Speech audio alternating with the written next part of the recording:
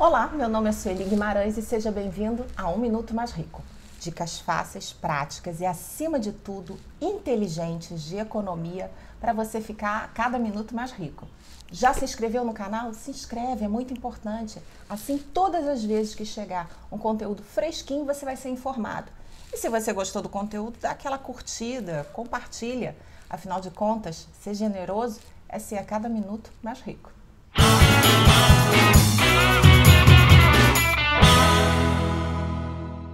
Esse vídeo é para você que mora ou em área urbana ou em área próxima a matas e florestas.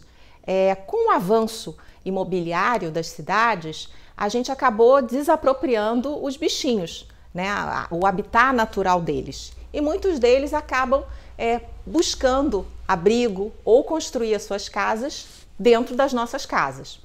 Alguns deles não, não causam problemas, mas outros podem causar sérios problemas. Isso se a pessoa for alérgica e, além de tudo, a picada deles machuca. Eu estou falando dos famosos marimbondos ou vespas. Marimbondo é um tipo de vespa. Eles são muito comuns nas áreas urbanas e a gente acaba tendo que tirar eles das nossas casas, porque se eles se sentem atacados, eles atacam. E aí a picada dói, especialmente, como eu já falei, se, se você for alérgico. É, meu avô, quando se mudou para cá, eu moro perto de área de floresta, ele usava exatamente essa barra de ferro com isso aqui, colocava querosene, tocava fogo e tirava as casas de marimbondos é, dos locais em que eles faziam as casas. Além de extremamente perigoso, colocava em risco a vida da gente, isso aqui podia explodir, podia pegar fogo na casa, você também agredia de uma certa forma, você também matava os marimbondos. Era uma coisa desnecessária. Com o passar do tempo, eu fui pesquisando uma forma é, mais inteligente de você é, afastar é, esses animais sem você é, causar nenhum tipo de dano propriamente a eles.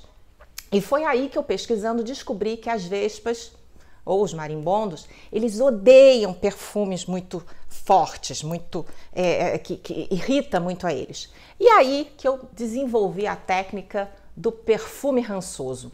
É, vocês sabem que eu já tinha falado numa outra dica sobre como manter os seus perfumes. Mas os perfumes que ficam rançosos, aqueles que é, foram expostos ao sol e que ficam com aquele cheiro esquisito, não tem mais como você usar mas tem como você usar para espantar os marimbondos. Isso aí vai ser aplicado no caso de casas que são pequenas, tá? Se você tem na sua casa, no seu apartamento, um enxame de marimbondos, casas enormes, não faça isso. Aí você vai ter que chamar o corpo de bombeiros.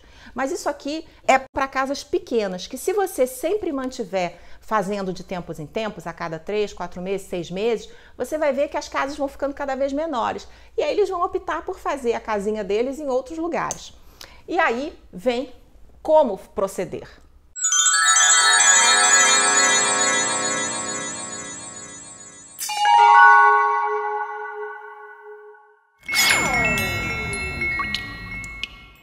Então você com uma espátula, você tem que arrancar pendúnculo, que é essa coisinha aqui Tá vendo? Que prende a casa. Eu tô com uma espátula muito grande, vou pegar uma menor.